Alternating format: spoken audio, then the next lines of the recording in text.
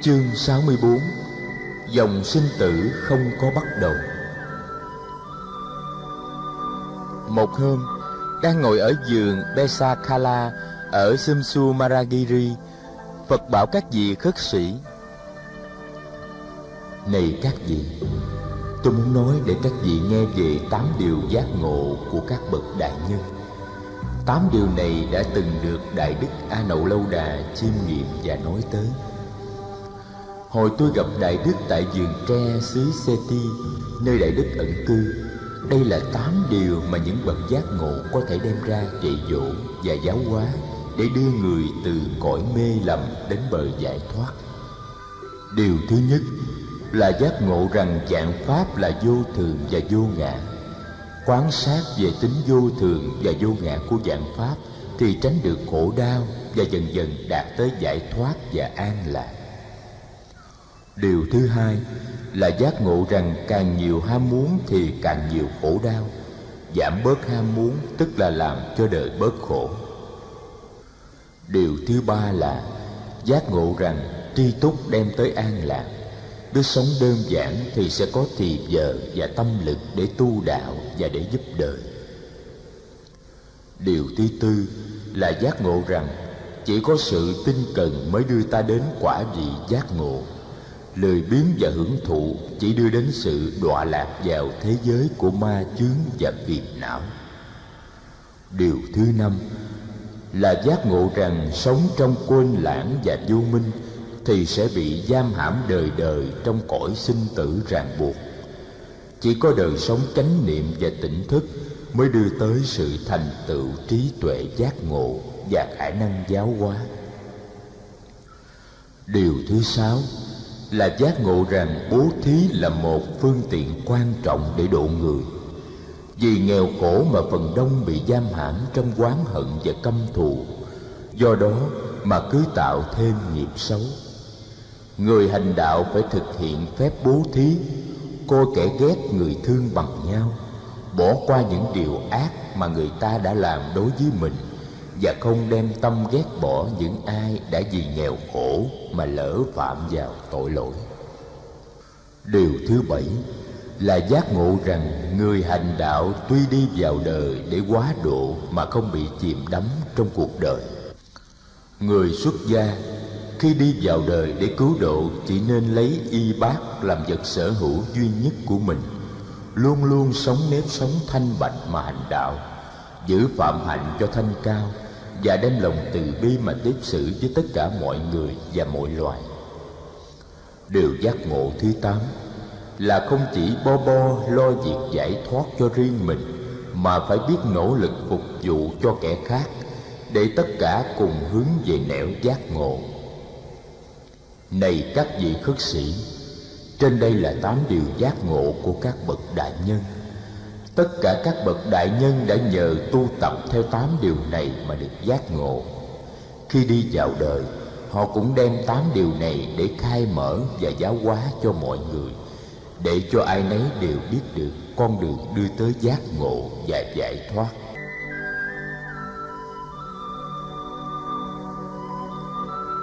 Về tới tu viện trúc lâm ở dương xá Phật được thông báo là vị khất sĩ Vatkali đang bị bệnh nặng và rất trông mong được thấy mặt Phật trước khi qua đời. Nghe Phật về tới Trúc Lâm, thầy đã gửi vị thị giả của thầy tới để dấn an Phật. Vị thị giả lạy xuống ba lạy rồi mới quỳ lên và bạch. Bạch Thế Tôn, thầy con hiện đang ốm nặng, thầy con đang nằm trên giường bệnh trong ngôi nhà của một người cư sĩ làm nghề đồ gốm Thầy con dẫn con tới thay thầy con để cung kính lạy xuống và kê đầu trên chân Thế Tôn ba lần. Phật nói với thầy A Nan Đà: Chúng ta hãy đi thăm Đại Đức Vát Kali. Biết Phật đến, Đại Đức Vát Kali gắn gượng ngồi lên, nhưng thầy không ngồi lên nổi. Phật đỡ thầy nằm xuống trở lại và nói: Vát Kali, đừng cố gắng ngồi lên, cứ nằm xuống cho thoải mái có mấy cái ghế có sẵn đây. Tôi và thầy A Nan Đà ngồi xuống được rồi. Phật và thầy A Nan Đà ngồi xuống Người hỏi thăm. Thầy Vatkali Tôi mong rằng tình trạng sức khỏe của thầy không đến nỗi nào và những cơn đau trong thân thể của thầy có giảm bớt. Bạch thế tôn tình trạng sức khỏe của con càng lúc càng tệ. Con khó chịu lắm những cơn đau trong cơ thể đã không giảm bớt, trái lại còn cứ tăng dần. Tôi mong rằng trong tâm thầy không lo lắng gì và không ân hận gì. Bạch thế tôn, có. Trong lòng con có lo lắng và có ân hận. Vậy tôi mong thầy không tự trách gì về mình, về nếp sống tu học phạm hạnh của thầy. Không. Bạch thế tôn con không có trách móc gì con và không có ân hận gì về đời sống phạm hạnh của con cả. Vậy thì thầy lo lắng và ân hận về cái gì? Con chỉ lo lắng và ân hận là từ lâu nay con rất muốn đi thăm phật, mà vì yếu quá, con đã chẳng làm được việc ấy. Phật trách nhẹ nhàng, thôi đi Vakhali lo lắng ân hận gì về chuyện ấy. Thầy đã sống xứng đáng với đời sống phạm hạnh như thế, thì thầy trò mình luôn luôn có mặt bên nhau rồi. Cứ gì phải thấy mặt tôi mới gọi là thấy phật. Cái hình hài này đâu phải là quan trọng, chánh pháp mới là thiết yếu. Ai thấy được chánh pháp, tức là thấy phật, thấy được hình hài này mà không thấy được chánh pháp, tức cũng như không thấy được gì hết im lặng một lát. Phật hỏi vakhali thầy có thấy sắc thân là vô thường không? Sắc thân nơi thầy cũng thế mà sắc thân nơi tôi cũng thế. Bạch thế tôn con thấy rất rõ. Con thấy sắc thân là vô thường sinh diệt và biến chuyển không ngừng. Con lại thấy cảm thọ cũng vô thường những đau nhức cũng như những vui mừng của con cũng đang sinh diệt và biến chuyển không ngừng. Tri giác, tâm tư và nhận thức nơi con cũng chịu luật sinh diệt vô thường ấy. Trước khi thế tôn đến thăm, con đã quán chiếu nhiều về tính vô thường của năm uẩn và con bắt đầu thấy rõ rằng trong năm dòng sinh diệt ấy không có gì có thể gọi là tử hay lắm Vakhali tôi có đức tin nơi thầy. Trong năm uẩn ta không thấy được một cái gì gọi là tự ngã. Tự ngã không phải là một cái gì được nhốt kín trong năm uẩn thầy mở mắt ra nhìn đi. Đâu mà không phải là Vakhali cái gì mà không phải là Vakhali sự sống màu nhiệm khắp nơi Vakhali xin việc không động được tới thầy đâu. Thầy mỉm cười đi. Mỉm cười ngay với cái thân tứ đại của thầy. Mỉm cười ngay với những đau nhức đang sinh diệt trong cơ thể của thầy. Hai mắt của đại đức Vakhali rơm rớm ướt. Trên môi thầy rõ rệt là có một nụ cười. Phật đứng dậy, cáo từ.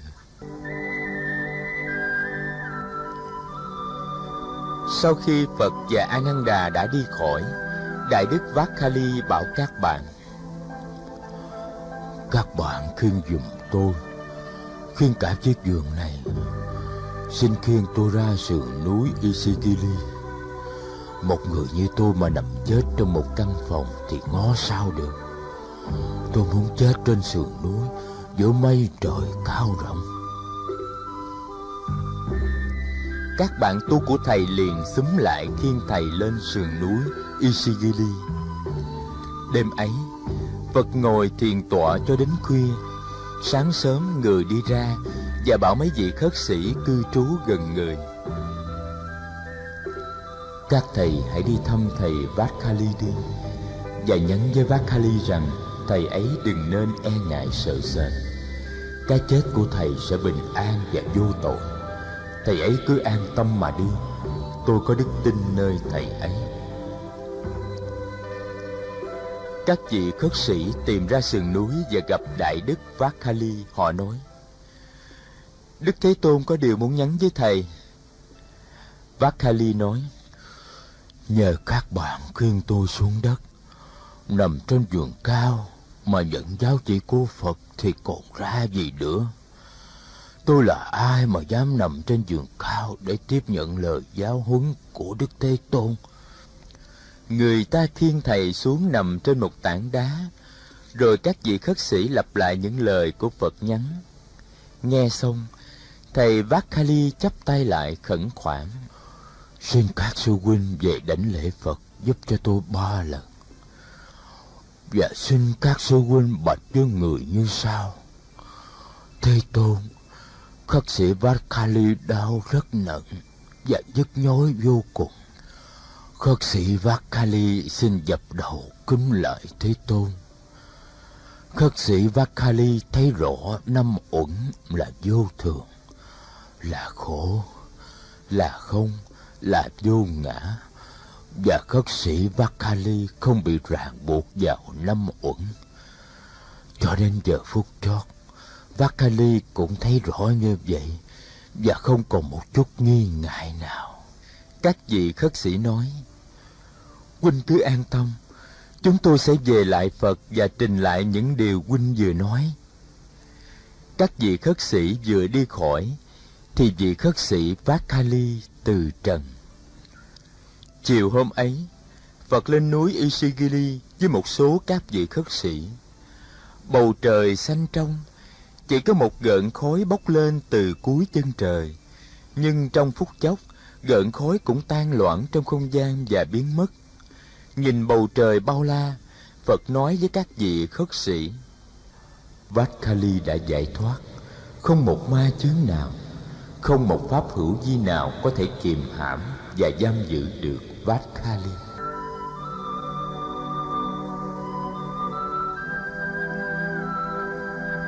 Phật lại lên đường đi Nalanda rồi tỳ Sa Ly.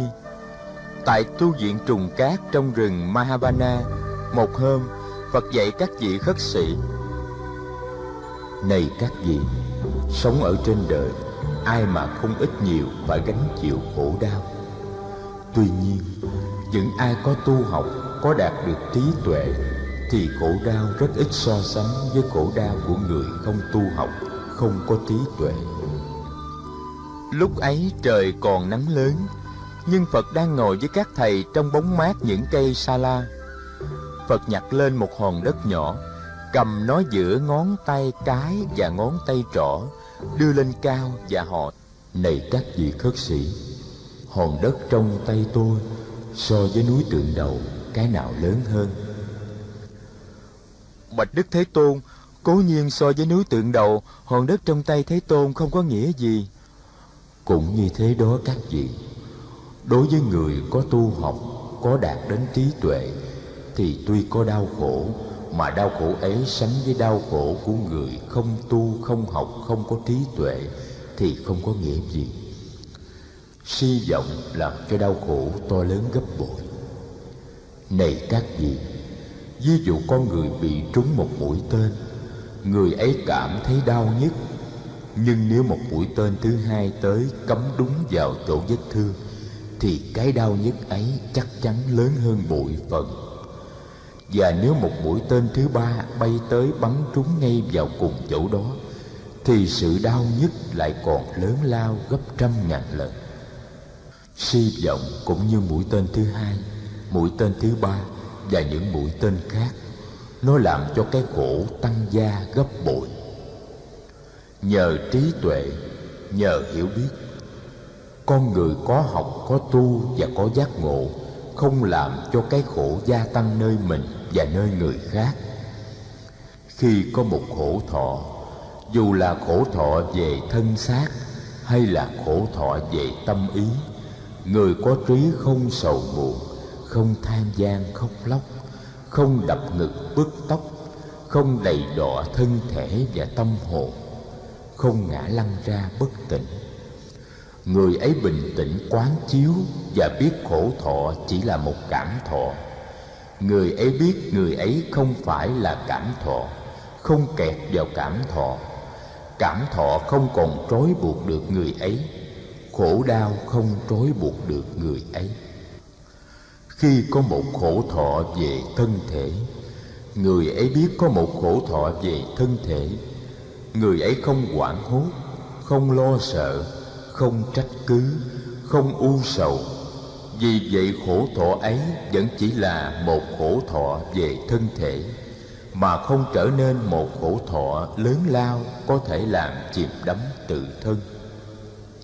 Cũng vì thế, này quý vị khất sĩ, quý vị nên tu tập, nên quán chiếu để đạt tới trí tuệ và để không bị khổ đau ràng buộc sinh, lão. Bệnh tử sẽ không còn khống chế được quý vị. Này các vị khất sĩ, khi sắp mệnh chung, việc người khất sĩ nên làm là quán chiếu thân thể, cảm thọ, tâm ý và đối tượng tâm ý. Mỗi tư thế, mỗi động tác cần được đặt trong chánh niệm. Mỗi cảm thọ đều được soi sáng bởi chánh niệm người sắp mệnh chung quán chiếu tự tánh vô thường và duyên sinh của thân thể và của cảm thọ, để không còn bị vướng mắc vào thân thể và cảm thọ. Dù là lạc thọ, khổ thọ hay xả thọ, nếu có một cơn đau phải đem hết toàn thân ra chịu đựng, thì người ấy quán chiếu, đây là một cơn đau phải đem hết toàn thân ra chịu đựng. Cơn đau này không phải là ta ta không phải là cơn đau này. Ta không kẹt vào cơn đau này. Thân thể và cảm thọ như là một ngọn đèn đang cạn dầu và hết bất. Ánh sáng do nhân duyên làm tỏ lộ, mà cũng do nhân duyên làm tìm phục. Ta không bị ràng buộc bởi nhân duyên. Và như thế sẽ có lắng dịu, sẽ có giải thoát.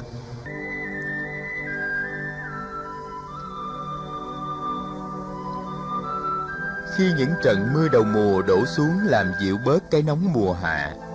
Người lên đường về tu viện kỳ viên năm nay các thầy và các ni sư về an cư ở các trung tâm tu học tại xá vệ, đông lắm. Tại giảng đường lộc mẫu, một hôm phật giảng dạy thêm về đạo lý duyên sinh. Một vị khất sĩ đứng lên bạch, thế tôn, người đã dạy thức là cơ sở của danh sắc như vậy có nghĩa là vũ trụ dạng hữu trong thế giới đều phát sinh từ tâm thức. Có phải thế không? Phật nói, đúng như vậy. Danh là tâm nhận thức, sắc là đối tượng nhận thức. Chủ thể nhận thức và đối tượng nhận thức là hai mặt của cùng một thực tại.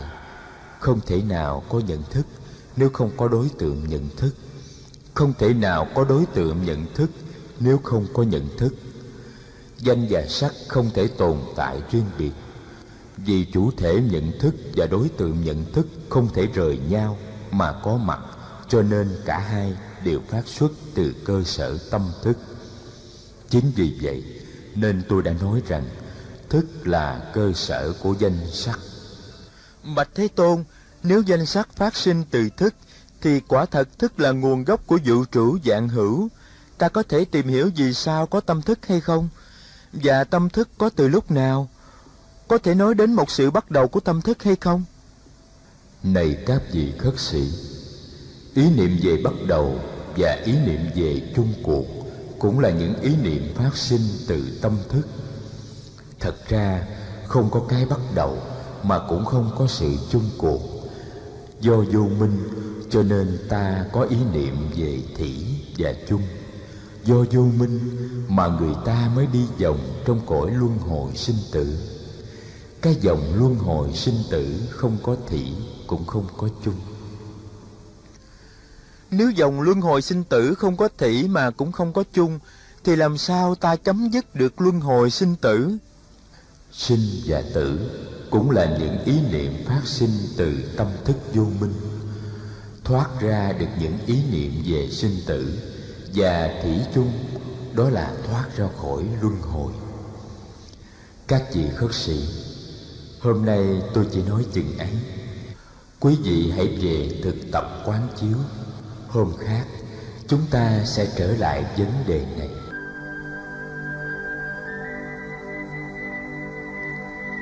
Chương 65 không có cũng không không. Sau buổi pháp thoại này, đại đức các tường thấy nhiều thầy có vẻ trầm ngâm. Riêng đại đức đại đức thấy mình chưa nắm vững được những điều phật dạy. Đại đức tâm niệm sẽ cố gần gũi các vị đại đức lớn để học hỏi thêm qua những lời luận đàm của họ. Trong buổi pháp thoại kế tiếp, đại đức a nan đà được phép đại diện các thầy đặt lên những câu hỏi để phật trả lời. Đại đức nói, bạch thế tôn thế nào là thế giới? Thế nào là dạng hữu? A thế giới là sự tập hợp của tất cả những gì có tính biến chuyển và tàn hoại. Dạng hữu tuy bao la, nhưng tất cả đều bao hàm trong 18 lãnh vực. Đó là sáu căn, sáu trần và sáu thức. Sáu căn, như các vị đã biết, là mắt, tai, mũi, lưỡi thân và ý. Sáu trần là sắc, thanh, hương, vị, xúc và ý tưởng. Sáu thức là cái thấy, cái nghe, cái ngửi, cái nếm, cái xúc chạm và cái ý. Ngoài mười tám lãnh vực đó mà ta gọi là thập bát giới, không còn có gì nữa. Tất cả mười tám cái ấy đều có tính sinh diệt và biến hoại cho nên tôi đã định nghĩa thế giới là sự tập hợp của tất cả những gì có tính biến chuyển và tàn hoại. A nan đà lại hỏi, thế tôn đã từng nói dạng pháp là không? Như thế nào gọi là dạng pháp không? Bởi vì dạng pháp không có tự thể riêng biệt, cho nên gọi là dạng pháp không. Sáu căn, sáu trần cũng như sáu thức, không có pháp nào có tự thể riêng biệt thế tôn. Có lần cô đã nghe thế tôn nói về ba cánh cửa giải thoát là không, vô tướng và vô tác. Có lần con cũng đã nghe thế tôn nói dạng pháp là không, thế giới là không. Con chưa thật sự hiểu được thế nào là không. Có phải vì dạng pháp có tính biến chuyển và tàn hoại cho nên phật nói dạng pháp là không không? A nan đà quả thật tôi đã từng nói về không và phép quán về không phép quán chiếu về không là một phép quán chiếu mầu nhiệm, có thể giúp người hành đạo vượt ra khỏi khổ ưu và sinh tử. Hôm nay, tôi sẽ vì đại chúng mà nói về không quán. A nan tất cả chúng ta đều đang ngồi trong giảng đường lọc mẫu. Chúng ta biết rằng, trong giảng đường này không có chợ búa, trâu bò, làng sớm mà chỉ có các vị khất sĩ đang ngồi nghe pháp mà thôi cái gì không thì ta nói là không cái gì có thì ta phải nói là có. Trong trường hợp của chúng ta đây tức là trong trường hợp giảng đường lộc mẫu chợ búa làng sớm trâu bò là không nhưng các vị khất sĩ là có. Có phải như vậy không? Bạch thế tôn đúng như vậy. Sau buổi giảng này tất cả chúng ta đều sẽ đi ra khỏi giảng đường lọc mẫu. Và trong giảng đường lọc mẫu sẽ không có một vị khất sĩ nào. Lúc đó, giảng đường lọc mẫu không có chợ búa, không có làng sớm không có trâu bò, mà cũng không có các vị khất sĩ. Có phải như thế không? Bạch thế tôn, đúng như vậy. Lúc đó trong giảng đường lọc mẫu không có gì hết. A nan đà có luôn luôn nghĩa là có cái gì, không luôn luôn nghĩa là không cái gì. Tiếng có và tiếng không tự chúng không có nghĩa gì cả. Xin thế tôn giải rõ cho chúng con. Này nhé, không bao giờ cũng là không một cái gì. Ví dụ không chợ búa, không trâu bò, không làng xóm, không các vị khất sĩ ta không thể nói không một cách suông cục được. Có cũng vậy.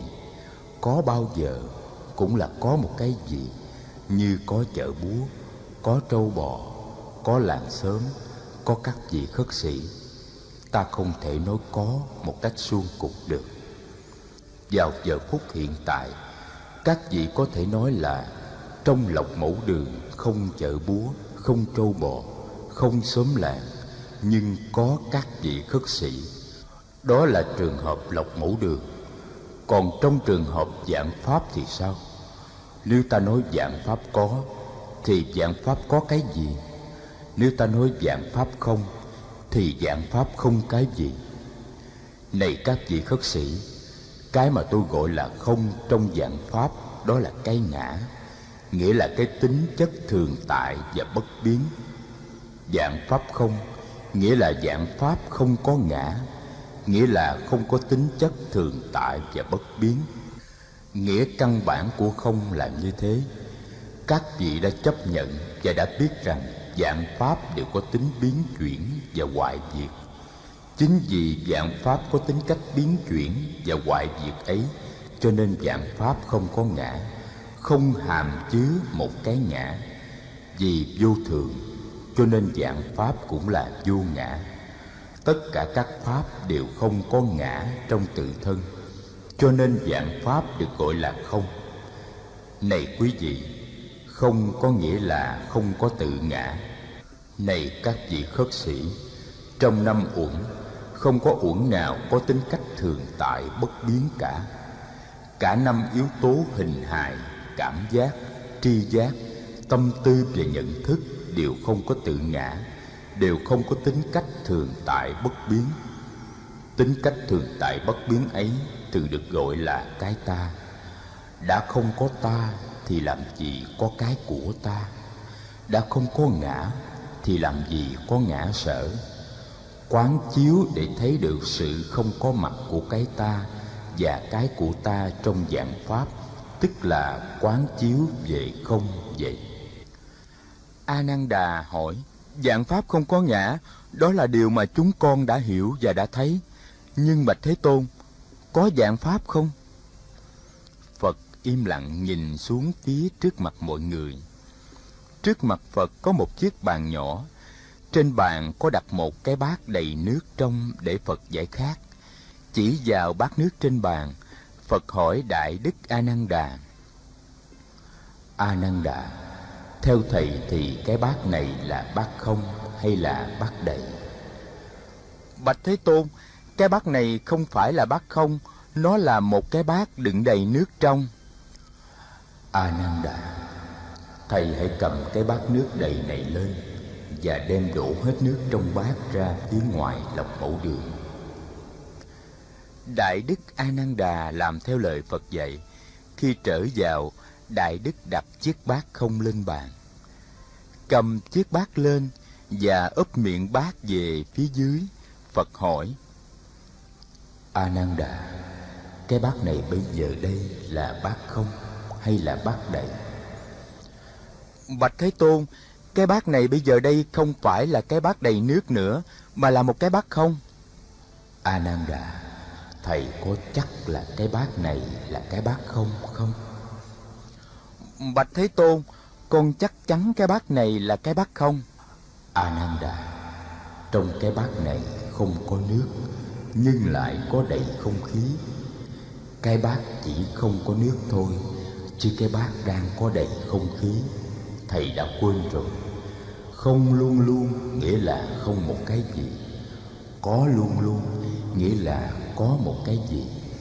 Trong trường hợp này, thầy phải nói cái bát không có nước, nhưng có đầy không khí. Bạch thế tôn, con đã hiểu. Vậy thì a nan đà cái bát có thể là một cái bát không, mà cũng có thể là một cái bát đầy. Cái không hay cái đầy ấy tùy thuộc vào sự có mặt của cái bát. Nếu không có cái bát, thì làm gì có cái không hay cái đầy? Vậy nếu muốn không hay muốn đầy thì phải có cái bát đã. Như giảng đường lọc mộ, mà trong đó chúng ta đang ngồi đây. Giảng đường có thể không hay đầy, nhưng muốn không hay đầy thì phải có giảng đường trước đã. Đại chúng ồ lên một tiếng. Đại đức a nan đà chắp tay. Bạch thế tôn, như vậy là có dạng pháp, và dạng pháp có thật phật mỉm cười. A nan đà, thầy đừng nên bị từ ngữ khống chế như vậy. Nếu dạng pháp có mặt như những hiện tượng không có ngã, thì cái có đó không phải là cái có của tri giác thông thường. Cái có ấy cùng với cái không kia là một. A nan đà chắp tay. Xin phật khai thị thêm cho chúng con. Này a nan chúng ta vừa nói đến cái bát không và cái bát đầy.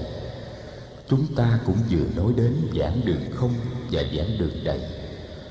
Tôi đã nói sơ lược về không. Bây giờ, tôi sẽ nói sơ lược về có. Cái bát trên bàn kia, tuy là cái bát không còn nước, nhưng nếu đại chúng nhìn thật kỳ thì không phải là như vậy. Nâng cái bát lên phật nhìn a nan đà a nan đà trong những yếu tố nhân duyên đã đưa tới sự có mặt của cái bát này có yếu tố nước không? Bạch thế tôn nếu không có nước trộn vào đất sét thì người thợ gốm không thể nào biến đất sét thành cái bát được. Đúng rồi. Ananda nhìn kỹ vào cái bát ta thấy có nước ở trong đó. Dù trong giờ phút hiện tại nó là một cái bát không có nước. Sự có mặt của cái bát chứng minh được sự có mặt của nước. Ananda thầy có thấy yếu tố lửa trong cái bát này không? Bạch thế tôn con có thấy. Nếu không có lửa thì đất trộn với nước không thể nào đưa tới sự có mặt của cái bát. Nhìn sâu vào cái bát con thấy sự có mặt của hơi nóng của lửa. Nhìn sâu vào cái bát thầy thấy gì nữa? Con thấy không khí. Nếu không có không khí thì lửa không cháy được và người thợ gốm cũng không sống được. Con thấy người thợ gốm. Con thấy bàn tay khéo léo của người thợ gốm. Con thấy tâm thức của người thợ gốm. Con thấy lò gốm. Con thấy củi chất trong lò. Con thấy rừng cây đã làm ra củi. Con thấy mưa, nắng, đại địa đã làm cho rừng cây mọc lên tươi tốt. Bạch thế tôn con thấy muôn ngàn yếu tố nhân duyên đã cùng nhau hợp lại để đưa tới sự có mặt của cái bát này. Hay lắm, ananda. Thầy đã thấy được sự có mặt của những yếu tố nhân duyên đã đưa tới sự có mặt của cái bát khi quan sát về cái bát ananda, những yếu tố ấy cùng có mặt đồng thời với cái bát và trong cái bát trong những yếu tố ấy, có yếu tố tâm thức của thầy ananda, nếu từ trong cái bát này mà thầy lấy hơi nóng để trả về cho mặt trời, lấy đất sét trả về cho đại địa, lấy nước trả về cho dòng sông, lấy bàn tay người thợ gốm trả về cho cha mẹ người ấy, lấy than củi trả về cho rừng cây, thì cái bác sẽ còn có mặt không? Cái bác sẽ đi về đâu? Bạch thế tôn, cái bác sẽ không có mặt bởi vì những nhân duyên tạo nên cái bát đã trở về với vị trí nguyên thủy của chúng, cái bát sẽ trở về với những yếu tố nhân duyên ấy. Ananda, nếu thầy đã quán chiếu chính chắn về đạo lý nhân duyên, chắc chắn thầy đã thấy rằng cái bát không thể tự riêng mình mà có mặt được. Cái bát chỉ có thể có mặt trong liên hệ nhân duyên với tất cả các pháp. Các pháp nương nhau mà sinh khởi có mặt và hoại diệt sự có mặt của một pháp kéo theo sự có mặt của tất cả các pháp. Sự có mặt của các pháp có thể được chứng minh nhờ sự có mặt của một pháp. Ananda, đó là nguyên lý tương nhập và tương tác. Ananda, tương nhập nghĩa là trong cái này có cái kia và trong cái kia có cái này. Ví dụ nhìn vào cái bát, ta có thể thấy người thợ gớm nhìn người thợ gớm ta có thể thấy cái bát. Tương tác, nghĩa là cái này là cái kia cái kia là cái này. Ví dụ, sống là nước nước là sống. Ananda, hiện lộc bổ đường không có chợ búa, trâu bò và làng sớm nhưng kỳ thực, nếu không có chợ búa, trâu bò và làng sớm thì không có được lọc mẫu đường. Nói trong lọc mẫu đường không có chợ búa trâu bò và làng xóm. Đó chỉ là một cách nói, một lối nhận thức. Sự thật thì nếu không có chợ búa trâu bò và làng xóm, thì chúng ta sẽ không bao giờ có lọc mẫu đường. Nếu không có giáo đoạn của các vị khất sĩ, thì cũng sẽ không có lọc mẫu đường. Vì vậy cho nên khi nhìn giảng đường lộc mẫu, vào lúc giảng đường trống vắng, ta cũng phải thấy sự có mặt của chợ búa, trâu bò xóm làng, và cả các vị khất sĩ ở trong đó. Không có cái này thì không có cái kia. Và ý nghĩa căn bản của không là cái này có thì cái kia có. Nói tới đây, phật im lặng. Giảng đường lộc mẫu im phăng phát những lời phật nói đã gây ấn tượng sâu sắc trong tâm trí người nghe.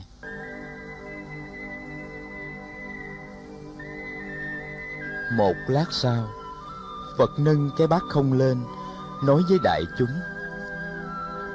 các vị khất sĩ, cái bát này tự nó một mình nó không thể có mặt được. Nó chỉ có thể có mặt đồng thời với tất cả những cái khác mà ta không gọi là bát như đất, nước, lửa, không khí, người thợ gớm tất cả các pháp trên thế gian, pháp nào cũng vậy. Pháp nào cũng có mặt liên hệ nhân duyên trên nguyên tắc tương tức và tương nhập. Các vị khất sĩ, nhìn vào cái bát này, ta thấy được tất cả vũ trụ dạng hữu. Vậy ta có thể nói cái bát chứa đầy cả vũ trụ dạng hữu chỉ có một cái không có mặt trong cái bát này mà thôi. Đó là tự ngã riêng biệt của cái bát. Tự ngã là gì?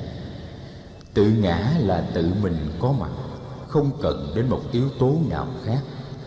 Trên thế gian, không có pháp nào có thể tự mình có mặt mà không cần đến bất cứ một yếu tố nào khác. Vì vậy cho nên không có một pháp nào có tự ngã đó là ý nghĩa căn bản của không. Không nghĩa là không có tự ngã.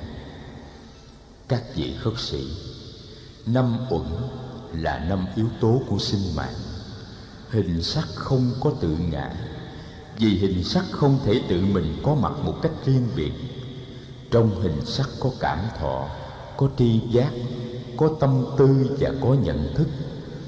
Cảm thọ cũng vậy cảm thọ cũng không có tự ngã. Bởi vì cảm thọ không thể tự mình có mặt một cách riêng biệt.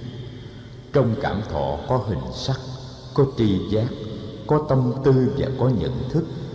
Điều này cũng được áp dụng cho các quận khác là tri giác, tâm tư và nhận thức. Trong năm uẩn, không có uẩn nào có tự tính riêng biệt. Năm uẩn nương vào nhau mà thành lập vì vậy, năm uẩn là không. Các vị khất sĩ, sáu căn, sáu trần và sáu thức là không. Mỗi căn, mỗi trần, mỗi thức đều phải nương vào các căn, các trần và các thức khác mà được thành lập. Không có căn, trần và thức nào có tự tính riêng biệt. Các vị khất sĩ, mười hai nhân duyên là không mỗi nhân duyên phải nương vào các nhân duyên khác mà được thành lập. Không nhân duyên nào có tự tính riêng biệt. Các vị khất sĩ, tôi muốn nhắc lại để quý vị cùng nhớ, cái này có cho nên cái kia có. Các pháp gì nương vào nhau mà có mặt, cho nên các pháp được gọi là không. Không ở đây nghĩa là không có tự ngã, không có một sự hiện hữu riêng biệt và độc lập. Đại đức a nan bạch, thế tôn, có những nhà trí thức bà la môn cũng như một số các vị lãnh đạo các giáo phái nói rằng, sa môn cồ đàm chủ trương thuyết hư vô đoạn diệt. Sa môn cồ đàm dẫn dắt người ta tới sự tiêu diệt mọi hình thức của sự sống.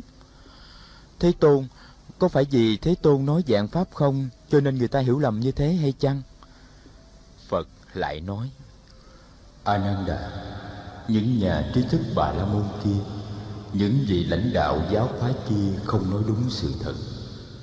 Tôi không bao giờ chủ trương thuyết hy vô, thuyết hoại diệt. Tôi không chủ trương dẫn dắt đến sự hoại diệt mọi hình thức của sự sống. Ananda, trong số các tà kiến, có hai tà kiến lớn mà nhiều người đã vướng phải. Đó là chấp có và chấp không chấp có là nhận thức dạng sự dạng vật như những gì thường tại và có tự thể riêng biệt. Chấp không là nhận thức dạng sự dạng vật như một màn ảo thuật của thực linh. Kẹt vào tà kiến nào trong hai tà kiến ấy cũng không có cơ hội thấy được sự thật. Ananda, có lần khất sĩ các Kayana hỏi tôi, thế tôn, thế nào là chánh kiến? Thế nào là cái thấy chân thực? tôi đã trả lời các kavana chánh kiến là thứ nhận thức vượt thoát hai luận chấp có và không khi ta đã thấy được tự tính chân thật của thực tại rồi, thì ta không còn bị ràng buộc bởi hai tà kiến ấy nữa người có chánh kiến thấy được quá trình phát sinh và hoại diệt của các pháp, và vì vậy không bị lay chuyển bởi các ý niệm có và không. Khi khổ đau phát sinh, người có chánh kiến biết là khổ đau đang phát sinh. Khi khổ đau tàn hoại, người có chánh kiến biết là khổ đau đang tàn hoại. Sự phát sinh và tàn hoại của dạng pháp không lay chuyển được người có chánh kiến. Chấp có là một thái cực, chấp không cũng là một thái cực khác nhận thức duyên sinh vượt ra ngoài hai thái cực đó và an trú ở trung đạo. Ananda, có và không, thực ra chỉ là những ý niệm không phù hợp với thực tại. Thực tại vượt ra ngoài khuôn khổ của những ý niệm ấy. Kẻ giác ngộ là người đã vượt thoát ý niệm có và không. Ananda, không những có và không, đều không mà sinh và diệt cũng là không sinh và diệt cũng chỉ là những ý niệm sinh diệt cũng là không đại đức A Nan Đà hỏi bạch đức thế tôn nếu sinh diệt là không thì tại sao Thế Tôn thường nói dạng Pháp vô thường luôn luôn sinh diệt? A Nan Đà, đứng dậy tục đế, ta có thể nói dạng Pháp có sinh và có diệt.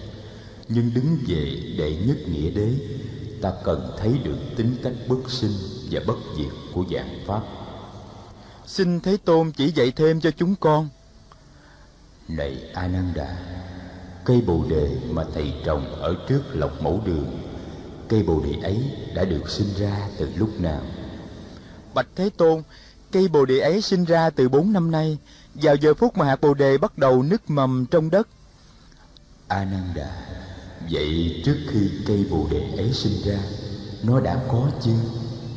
Thế Tôn, trước khi nó sinh ra Cây bồ đề chưa có Vậy thì cây bồ đề có thể từ không mà trở thành có hay sao? Thầy đã thấy một pháp nào từ không mà trở thành có hay chưa?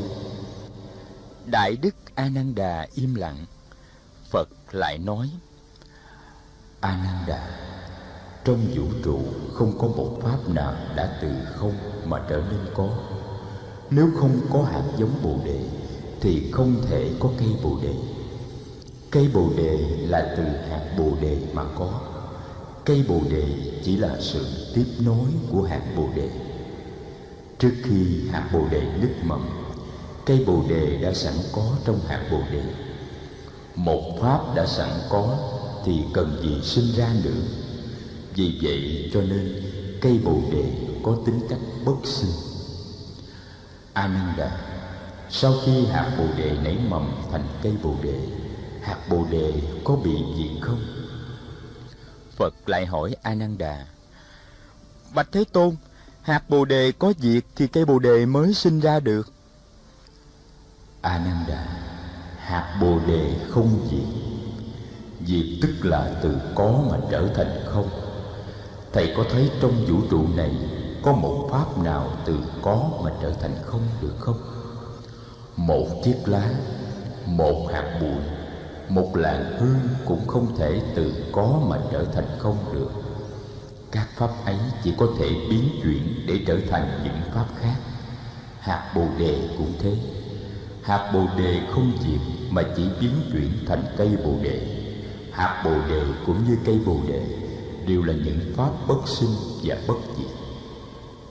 A nan đà, không những hạt bồ đề và cây bồ đề là những pháp bất sinh, bất diệt, mà tất cả các pháp trong đó có tôi, có thầy, có các vị khất sĩ, có lọc mẫu đường, có chiếc lá, có hạt bụi, có làn hương, tất cả đều bất sinh, bất diệt. Ananda tất cả các pháp đều bất sinh và bất diệt. Sinh và diệt chỉ là những ý niệm của nhận thức mà thôi. Các pháp không có, không không không sinh, không diệt, không dơ, không sạch không thêm không bớt, không tới, không đi, không một không nhiều tất cả các ý niệm có không, sinh diệt, dơ sạch thêm bớt tới đi, một nhiều, đều là những ý niệm phân biệt. Nhờ quán chiếu về tự tính không của các pháp, các vị có thể vượt thoát những ý niệm phân biệt ấy để chứng nhập được thực tại của dạng hữu. Ananda, thực tại của dạng hữu là không có cũng không không không sinh cũng không diệt, không thành cũng không hoại nếu không có thực tại ấy làm cơ bản, thì làm gì có cái thế giới có sinh, có diệt, có có có không, có thành, có hoại của nhận thức phân biệt? Nếu không có thực tại ấy, thì làm gì có lối thoát cho thế giới sinh diệt, có không và thành hoại? Ananda, có khi nào đứng trên bờ biển thầy nhìn ngắm những đợt sóng nhấp nhô sinh diệt trên mặt đại dương không? Thực tại bất sinh bất diệt, có thể đem so sánh với nước trong đại dương. Và thế giới sinh diệt, có thể được đem so sánh với những đợt sóng lô nhô trên mặt biển.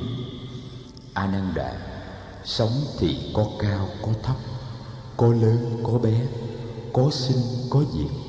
Nhưng nước trong đại dương thì không cao, không thấp, không lớn, không bé, không sinh, không diệt nếu không có nước, thì làm sao có sống? Và sống đi về đâu, nếu không là trở về với nước? Ananda, sống là nước. Nước là sống. Sống tuy có sinh, có diệt. Nhưng một khi sống nhận biết được rằng mình chính là nước, thì tự khắc sống vượt thoát được sinh diệt và không còn sợ hãi, âu lo và khổ đau vì sinh diệt các vị khất sĩ, phép quán chiếu về tự tánh không của dạng pháp là một phép quán chiếu mầu nhiệm, có thể đưa các vị vượt thoát sợ hãi, vượt thoát lo lắng, vượt thoát khổ đau. Phép quán chiếu này có thể đưa quý vị vượt thoát thế giới của sinh tử. Các vị hãy nỗ lực mà thực tập phép quán chiếu này nói tới đây, phật lặng im, người đã chấm dứt pháp thoại.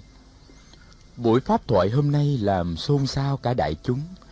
Đại đức cát tường chưa bao giờ được nghe phật nói những điều sâu sắc và màu nhiệm như hôm nay. Đại đức thấy các thầy lớn, thầy nào nét mặt cũng rạng rỡ. Vẻ sung sướng hiện rõ trong cái nhìn và trong nụ cười của họ.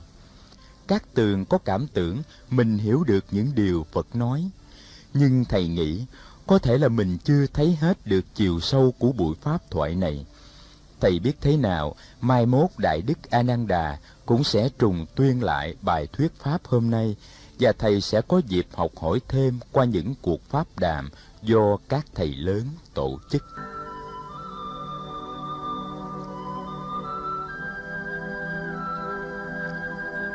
Chương 66 Bốn núi bao quanh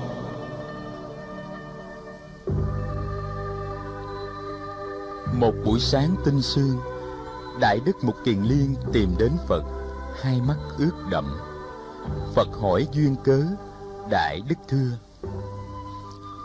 Thế Tôn, Trong giờ thiền tọa đầu hôm qua, Con đã nghĩ đến mẹ của con, Và con đã dùng định lực để quán chiếu Về nỗi nhớ niềm thương của con đối với mẹ. Con biết là trong thời niên thiếu Đã có đôi lần con làm cho mẹ con buồn.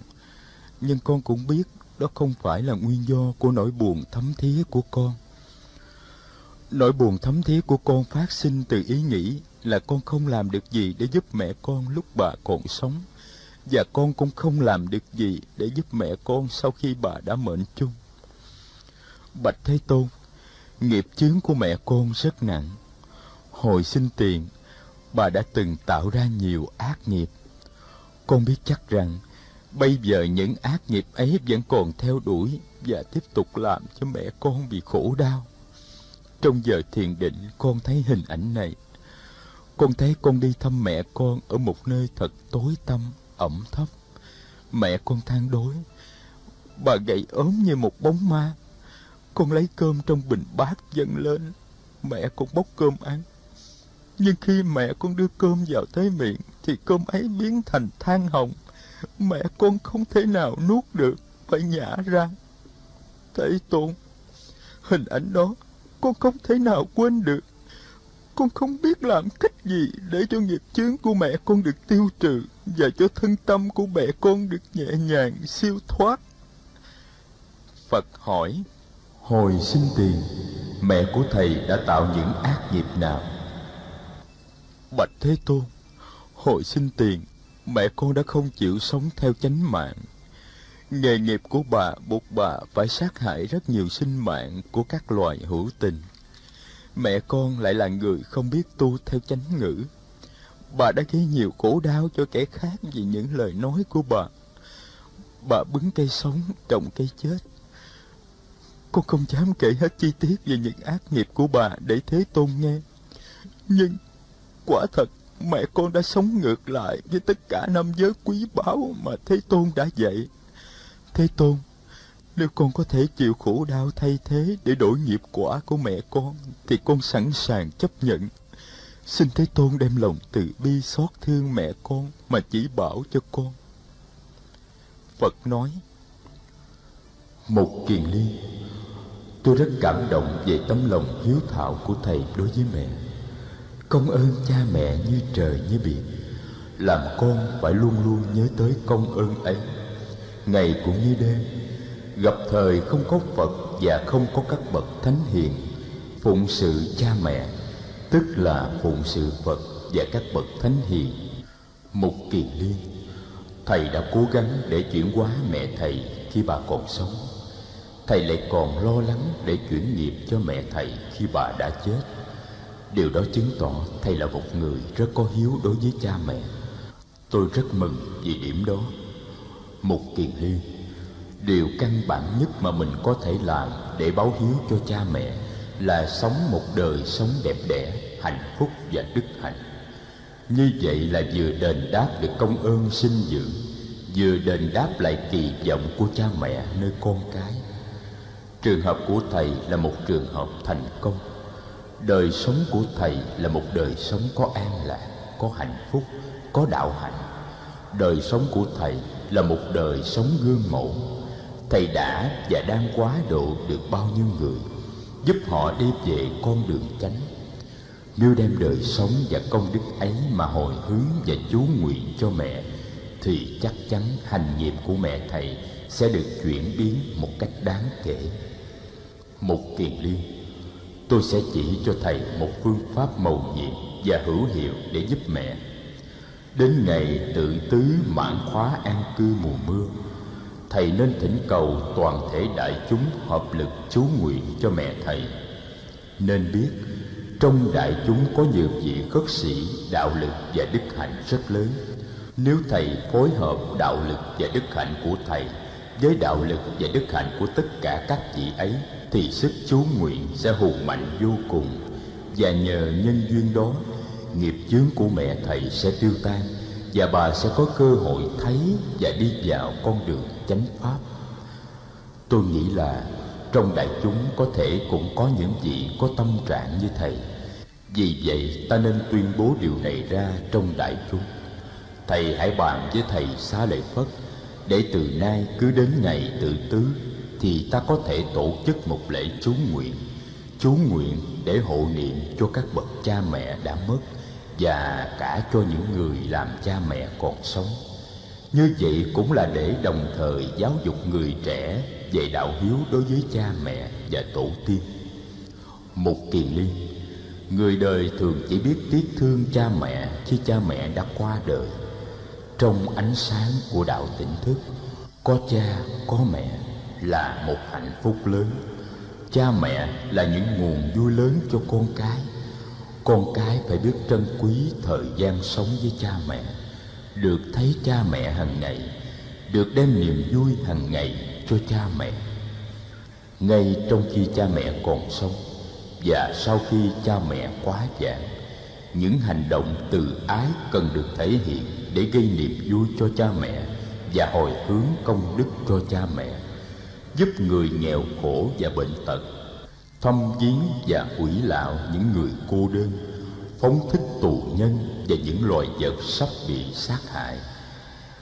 Chẩn tế, trồng cây, đều là những hành động phát xuất từ tâm từ bi có thể chuyển đổi được tình trạng hiện tại và gây niềm vui cho cha mẹ trong ngày tự tứ của tăng đoàn khất sĩ, chúng ta nên khuyến khích mọi người làm những việc như thế. Đại đức mục kiền liên vui mừng lạy tạ phật. Chiều hôm ấy, khi đi thiền hành tới cổng tu viện trúc lâm, phật thấy xa giá của vua basenadi cũng vừa dừng lại trước cổng. Vua đi thăm phật hai người còn đang đứng ở cổng tu viện để chuyện trò thì có bảy vị du sĩ phái Nigantha đi ngang qua.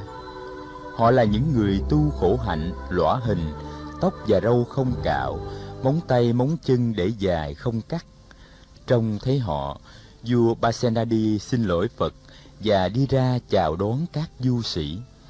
Vua lạy xuống rất cung kính trước bảy vị du sĩ và nói: Thưa các vị câu đức, trẫm là ba senadi vua nước câu Tắc La. Vua lại và nói ba lần như thế, rồi mới chào họ và trở về với Phật. Đợi cho họ đi khuất, vua hỏi. Bạch Thế Tôn, theo Thế Tôn thì trong bảy vị du sĩ đó có vị nào chứng quả A-la-hán chưa? Hoặc có vị nào đang đi trên con đường đến quả vị ấy? Phật đáp. Đại dương, Ngài sống cuộc sống dương giả và thân cận với giới chính trị nhiều hơn với giới đạo sĩ Nên Ngài khó mà biết được ai là người đã giải thoát và ai chưa giải thoát. Đại dương, gặp gỡ đôi lần và nhìn vào bề ngoài của một vị đạo sĩ Thì khó mà biết được họ có giác ngộ hay không. Chỉ khi nào ta sống bên họ và có thì giờ nhận xét họ Ta mới biết được họ có giải thoát hay không có giải thoát đi lâu mới biết đường dài thân cận lâu ngày với một người, sống với người ấy trong những hoàn cảnh khó khăn. Nghe người ấy nói năng và đàm luận, ta mới thấy được mức độ trí tuệ, đức hạnh và sự chứng đắc của người ấy. Vua biểu đồng tình với phật. Bạch thế tôn, con cũng thấy như vậy. Mỗi khi con gửi các thám tử đi do thám tình hình các nơi, những người này thường phải hóa trang để cho người ta không nhận ra được họ con nhớ là khi những thám tử này về cung trình diện, chính con cũng không nhận ra được họ. Con tưởng họ là những người không quen. Chỉ khi nào họ lột bỏ những đồ hóa trang, đi tắm rửa mặt và mặc áo quần của chính họ vào thì con mới nhận ra được họ. Thế Tôn, Thế Tôn nói rất đúng. Ta không thể nhận ra được đức hạnh, trí tuệ và sự chứng đắc của một người nếu ta không có được cơ hội để biết về người ấy một cách chính chắn. Phật mời vua đi bộ về phía tịnh thất của người. Vào đến tịnh thất, Phật bảo thầy Ananda bắt ghế trước sân mời vua ngồi. Sau khi an tọa, vua bạch với Phật. Tế Tôn, con đã 70 tuổi rồi. Con nghĩ là con phải để nhiều thì giờ hơn vào việc tu học của con. Con phải tập ngồi thiền và đi thiền hành nhiều hơn trước. Thế Tôn, công việc triều chính quá bận rộn. Nhiều lúc ngồi nghe Phật giảng mà con cũng ngủ gục con lấy làm xấu hổ quá. Bạch thế tôn, con lại có cái tật ăn nhiều. Con nhớ có một buổi trưa ăn no quá, tới chùa con buồn ngủ chi lạ. Con ra ngoài sân tu viện đi thiền hành cho bớt buồn ngủ, mà cũng vẫn buồn ngủ như thường. Hôm đó con vừa đi vừa ngủ gục. Đến nỗi gặp thế tôn, con cũng không thấy và con đã dấp dập thế tôn. Thế tôn có nhớ việc này không? Phật cười tôi có nhớ, đại dương đại dương ăn ít thôi, thì thân tâm sẽ nhẹ nhàng hơn, và công việc chính trị cũng như công phu tu tập cũng sẽ có phẩm chất hơn.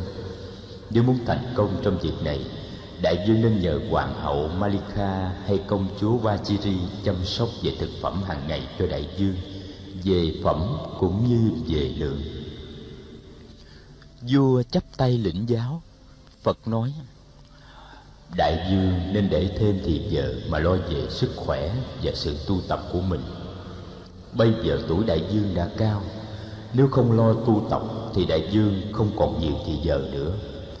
Đại dương, ví dụ có một người hộ vệ thân tín của đại dương từ phương đông trở về báo cáo với đại dương là có một hòn núi vĩ đại cao gần bằng mặt trời đang tiến dần từ phương đông tới. Và trên đường đi trái núi ấy nghiền nát tất cả những sinh vật nào nó gặp dưới chân. Đại dương đang lo lắng, thì một người thân tín của đại dương từ phương tây về báo cáo rằng, từ phương tây cũng có một trái núi vĩ đại như thế đang tiến tới. Rồi những người thân tín của đại dương từ phương bắc và phương nam cũng về báo cáo là có hai hòn núi vĩ đại từ các phương trời ấy đang từ từ tiến tới phía đại dương ngọn núi nào cũng nghiền nát với chân mình tất cả những sinh vật trên đường. Đại dương biết là bốn ngọn núi từ bốn phương đang áp tới và mạng sống của đại dương sẽ không thể kéo dài. Đại dương không còn nhiều thì giờ. Vậy đại dương sẽ làm gì trong tình trạng ấy? Vua ngẫm nghĩ rồi nhìn vào mặt phật. Bạch thế tôn, trẫm nghĩ trong trường hợp ấy thì chỉ có một việc đáng làm mà thôi đó là sống những ngày còn lại thật xứng đáng, thật trầm tĩnh, đúng theo chánh pháp. Phật khen, hay lắm, đại dương tôi xin nói để đại dương biết, bốn ngọn núi ấy là bốn ngọn núi của sinh, lão, bệnh, tử. Cái già và cái chết của những ngọn núi dây hãm chúng ta và đang từ từ tiến tới. Vua chắp tay, bạch thế tôn biết được cái già, cái chết đang dây quanh và tiến tới. Con nghĩ chỉ có một cách là đem những ngày tháng còn lại để sống theo chánh pháp, sống thật trầm tĩnh, làm tất cả những việc thiện nào có thể làm và xây dựng cho các thế hệ tương lai. Vua đứng dậy, làm lễ phật và ra về.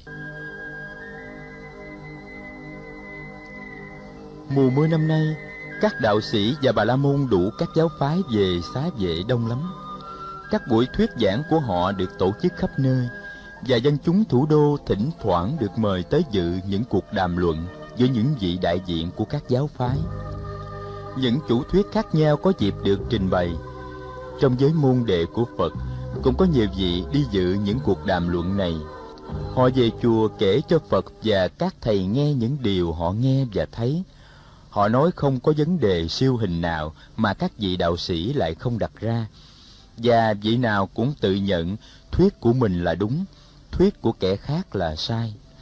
Ban đầu thì họ chỉ tranh luận nhẹ nhàng, nhưng rốt cuộc, phần lớn đều nổi nóng và cuối cùng người ta bắt đầu nói nặng với nhau và lên án nhau bằng những lời lẽ thật cay độc. Phật kể cho môn đệ nghe ngụ ngôn sau đây. Là ngày xưa có một ông vua thật ngộ nghĩnh, ông cho mời những người mù trong xứ đến những người mù từ khi mới được sinh ra. Vua cho dắt tới một con voi. Vua bảo những người này sờ voi và cho biết con voi như thế nào. Có người sờ chân voi, nói voi giống cái cột nhà. Có người sờ đuôi voi, nói voi giống cái phất trần. Có người sờ tai voi, nói voi giống cái rổ. Có người sờ ngà voi, nói voi giống như một cái cọc. Có người sờ bụng voi nói dôi giống cái bồ chứ thóc. Có người sờ đầu dôi, nói dôi giống như cái lu nước. Ngồi lại với nhau, những người mù này không ai đồng ý với ai về hình thù của con voi họ cãi nhau kịch liệt.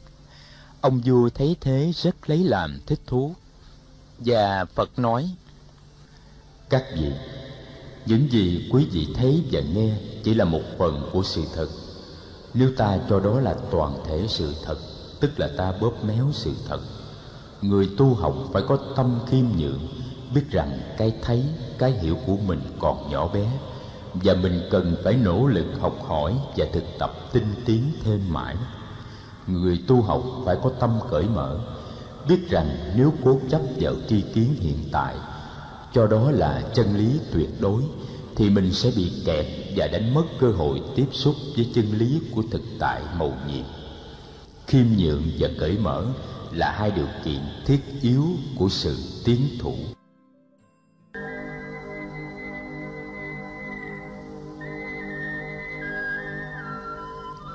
Chương 67 Nước biển chỉ có vị mặn. Mùa an cư năm ấy hoàn mãn, Nhiều vị Đại Đức lên từ giả Phật để đi hoàng hóa ở các địa phương. Đại Đức Phú Lâu Na vốn là một trong những vị giảng sư nổi tiếng của giáo đoàn khất sĩ Trên giới Phật là Đại Đức có ý về quê để hành đạo Sinh quán của Đại Đức là đảo Sunabaranta ở ngoài khơi Biển Đông. Phật hỏi, Tôi nghe nói vùng đó là một vùng chưa được khai hóa. Những giống dân cư trú tại đó tính tình hung dữ và các vụ bạo động thường xảy ra luôn.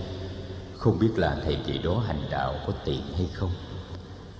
Đại Đức Phú Lâu Na bạch Lại Phật, chính vì họ chưa được khai hóa cho nên chúng ta phải tới để giúp họ. Chính vì họ hung dữ và bạo động cho nên chúng ta phải đem đạo từ bi và phép hành xử bất bạo động đến con nghĩ là con có thể thành công ở đó được phú lâu na nếu thầy đang thuyết pháp mà họ cứ tới la ó và chửi mắng vào mặt thầy thì thầy tính sao? Lại phật con nghĩ la ó và chửi mắng cũng chưa lấy gì làm dữ lắm. Họ cũng còn chưa luyện đá và đồ dơ vào con. Nhưng nếu họ luyện đá và đồ dơ vào thầy. Lại Phật, luyện đá và đồ dơ cũng chưa lấy gì làm dữ lắm. Họ cũng còn chưa lấy gậy đánh vào con. Nhưng nếu lỡ họ lấy gậy đánh vào thầy. Đại Đức Phú Lâu Na cười à, Lại Phật Như vậy họ cũng còn hiền lắm Họ vẫn chưa giết con Nhưng lỡ họ giết thầy Điều này không xảy ra đâu Bạch Thế Tôn mà dù nó có xảy ra đi nữa thì chết vì đạo lý từ bi và bất bạo động vẫn còn là một cái chết có ý nghĩa, có thể giáo dục người ta được. Lại Phật, người ta sống trên đời ai cũng phải có một lần chết. Nếu cần chết vì lý tưởng từ bi và bất bạo động, con sẽ không từ nan. Phật khen. Hay lắm, Phú Lâu Na. Thầy có dư sức đi hành hóa tại xứ Suna Paranta Tôi hỏi để các thầy khác cũng được nghe mà thôi Chứ riêng tôi Tôi không nghi ngờ gì về khả năng và lập trường bất bạo động của thầy hết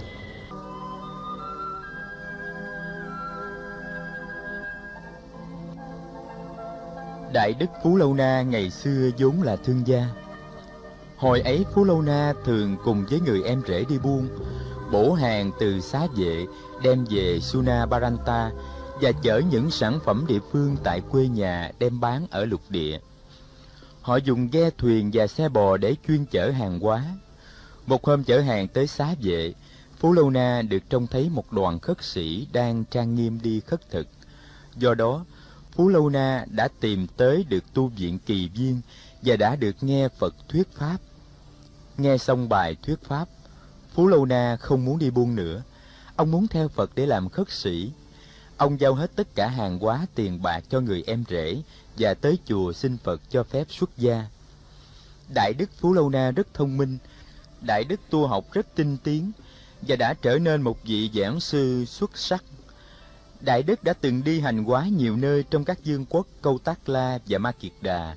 Ai cũng nghĩ rằng kinh nghiệm và đạo hạnh của Đại đức đủ bảo đảm cho sự thành công của Đại đức tại quê nhà.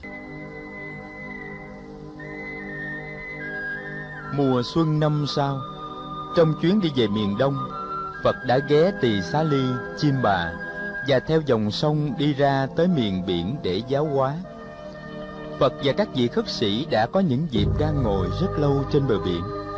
Một lần kia, Đại Đức A Nan Đà nói với Phật Bạch Thế Tôn, nghe tiếng sóng vỗ, nhìn các đợt sóng, chấm dứt mọi suy tư, theo dõi hơi thở và an trú trong hiện tại, con thấy thân tâm thật là thoải mái và đại dương như giúp con đổi mới trong từng giây từng phút. Phật gật đầu có một hôm nọ đứng nói chuyện với ngư dân ven biển. Đại đức a nan đà hỏi các ngư dân này nghĩ gì về biển cả. Một người đàn ông cao lớn, nước da sạm nắng, dáng người rất đẹp, nói với thầy. Biển có những đặc tính rất lớn và tôi yêu biển về những đặc tính ấy. Đặc tính thứ nhất là biển có những bãi cát thoai thoải đưa ta đi từ từ xuống nước, khiến cho việc thả thuyền và kéo lưới trở nên rất dễ dàng đặc điểm thứ hai là biển luôn luôn ở tại chỗ. Biển không bao giờ dời chỗ. Mình muốn ra biển thì mình biết hướng nào mà tìm đi. Đặc điểm thứ ba là biển không chấp nhận thay chết. Khi có thay chết, biển luôn luôn đẩy nó lên bãi. Đặc điểm thứ tư là biển chấp nhận nước của tất cả các dòng sông. Dù đó là sông hằng, sông yamuna, sông asiravati sông sarabu hay sông mahi sông nào đã tới biển thì cũng bỏ tên riêng của mình để mang tên biển cả. Đặc điểm thứ năm là tuy ngày đêm muôn sông liên tiếp đổ nước về biển biển cũng không vì vậy mà có khi dơi khi đầy. Đặc điểm thứ sáu là nước biển ở đâu cũng mặn. Đặc điểm thứ bảy là trong lòng biển có biết bao nhiêu thứ san hô, xà cừ và ngọc quý. Đặc điểm thứ tám là biển làm chỗ dung thân cho hàng triệu loài sinh vật trong đó có những loài rất lớn, dài hàng trăm do tuần, và những loài nhỏ bé như cây kim hoặc hạt bụi. Thưa các thầy, tôi chỉ nói có chừng đó. Các thầy cũng thấy tôi rất yêu biển đến chừng nào. A nan đà nhìn kỹ bác ngư dân. Bác này làm nghề chài lưới mà nói năng như là một thi sĩ. Thầy hướng về phía phật. Thế tôn, bác ngư dân này ca tụng biển rất hay. Thế tôn bác ngư dân yêu biển thế nào thì con cũng yêu đạo pháp giác ngộ như thế. Con thấy đạo pháp của thế tôn có rất nhiều đặc tính tuyệt vời. Đạo pháp này cũng bao la như biển cả. Mong thế tôn dạy cho chúng con. Phật mỉm cười, người đưa tay chỉ gần đá. Chúng ta hãy tới ngồi trên những tảng đá kia. Tôi sẽ nói cho các vị nghe về những đặc tính của đạo pháp giác ngộ mọi người theo phật lên ngồi trên gền đá. Các bác ngư dân cũng được mời theo. Khi mọi người đã an tọa quanh phật phật cất tiếng, này các vị, bác ngư dân vừa nói tới tám điều đáng yêu của biển. Tôi cũng sẽ nói tới tám điều đáng yêu của chánh pháp. Thứ nhất, nếu biển có những bờ cát thoai thoải, có thể đưa ta đi từ từ xuống nước khiến cho việc thả thuyền và kéo lưới trở nên dễ dàng, thì chánh pháp cũng vậy. Trong đạo pháp này, mọi người có thể đi từ dễ tới khó, từ thấp tới cao, từ cạn tới sâu. Chánh pháp mở rộng cho tất cả mọi người thuộc đủ loại căn tính. Ai cũng có thể đi vào chánh pháp được cả, dù là em bé, người già, người trí thức, kẻ thiếu học tất cả đều tìm thấy pháp môn tu học thích hợp với mình trong đạo pháp này. Thứ hai, nếu biển luôn luôn ở tại chỗ mà không dời đi nơi khác, không cuốn phăng đi sớm làng và thành thị, thì các chánh pháp cũng thế. Những nguyên tắc của chánh pháp luôn luôn không thay đổi, và giới luật của người thọ trì chánh pháp đã được quy định rõ ràng ở đâu có sự học hỏi và thực hành đúng theo những nguyên tắc ấy và những giới luật ấy là ở đó có chánh pháp, không thể nào sai chạy được. Thứ ba, nếu biển không bao giờ dung túng một thay chết trong lòng nó, thì chánh pháp cũng vậy. Chánh pháp không dung túng được vô minh, biến lười và hành động phạm giới. Một người không tu trong một đại chúng có tu, không thể nào cư trú lâu dài được người đó sớm muộn gì cũng phải bị đẩy ra khỏi đoàn thể và giáo pháp.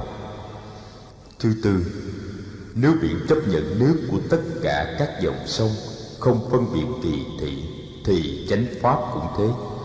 Từ giai cấp nào trong bốn giai cấp xã hội, người ta cũng được đón tiếp một cách bình đẳng vào trong đạo pháp này. Cũng như khi nước các dòng sông chảy ra biển, chúng bỏ lại sau lưng mình, tên của dòng sông và bắt đầu lấy tên biển cả. Những người đi vào trong đạo pháp của tôi không còn mang theo giai cấp, dòng dõi và địa vị xã hội của họ. Tất cả được gọi chung là người khất sĩ. Thứ năm, nếu biển không dơi cũng không đầy thêm, dù đêm ngày muôn sông vẫn tiếp tục chảy về, thì chánh pháp cũng vậy. Chánh pháp là chánh pháp không phải vì có nhiều người đi theo mà mới là chánh pháp. Không phải là vì ít người đi theo mà đạo pháp không phải là chánh pháp. Sự thịnh suy không đánh giá được chân lý của đạo pháp này. Thứ sáu, nếu nước biển ở đâu cũng chỉ có một vị là vị mặn, thì chánh pháp cũng thế. Dù giáo pháp được trình bày ra nhiều cách, dù có hàng ngàn hàng vạn pháp môn thì chánh pháp cũng chỉ có một vị, đó là vị giải thoát. Không có công năng giải thoát, thì đó không phải là chánh pháp. Thứ bảy, nếu trong lòng biển có vô số các loại san hô, xà cừ và ngọc quý, thì chánh pháp cũng thế. Trong đạo pháp, ta có nhiều pháp môn di diệu và quý báu như tứ diệu đế, tứ chánh cận tứ như ý túc ngũ căn, ngũ lục, thất bồ đề và bát chánh đạo. Thứ tám, nếu biển là chỗ dung thân thoải mái cho hàng triệu loài sinh vật, trong đó có những loài vật nhỏ như hạt cát và dài lớn đến hàng trăm do tuần, thì chánh pháp cũng thế. Trong đạo pháp ta, một em bé hay một người ít học vẫn có thể có cơ hội để tu học thoải mái. Trong đạo pháp ta những bậc đại nhân có kích thước lớn như những vị bồ tát có thể có cơ hội tu học và hoàn hóa trong một môi trường thênh thang. Trong đạo pháp ta, cũng có vô số các vị đã chứng đạt quả vị nhập lưu, nhất hoàng, bất hoàng và a la hán này quý vị, biển cả là một nguồn cảm hứng, là một kho tàng vô tận.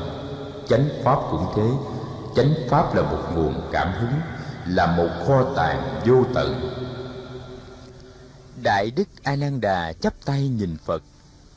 Thế tôn người là một vị đạo sư nhưng người cũng là một thi sĩ nữa.